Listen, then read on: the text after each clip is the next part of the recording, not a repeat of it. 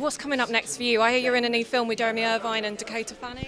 I was in. I'm in a film called Now Is Good. I'm a tiny part in that. I'm filming The Hour for the BBC with Dominic West and Ben Whishaw at the moment. How is it working with Dominic West? It's great. My character in it doesn't actually cross his path yet because it's about the BBC, and my character's a gangster in the 50s.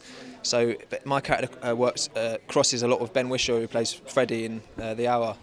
So I haven't got any scenes with Dominic yet. Maybe there'll be another season. So, uh, but maybe not. But Oh, very exciting. And Ben Whishaw, he's a huge talent as well. Working with him, how was that? amazing. Like he's one. He's another one as well as Charlie. I'd say is one of the top creme de la creme, and he's a lovely guy and.